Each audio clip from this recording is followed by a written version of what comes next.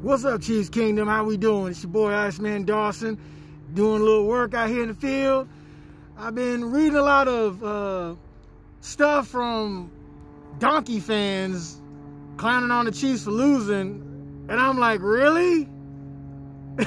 really? You're clowning us? And you're 2 0? Wow.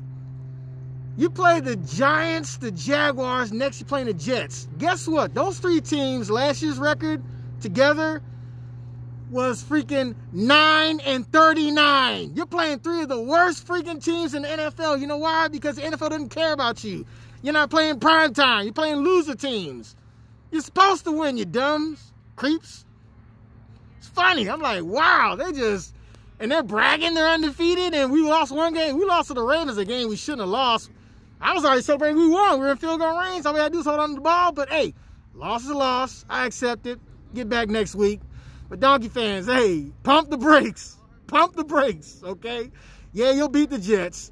But then you got Baltimore after that. We were supposed to win that game, but we dropped the ball. You really think you're going to beat the Ravens?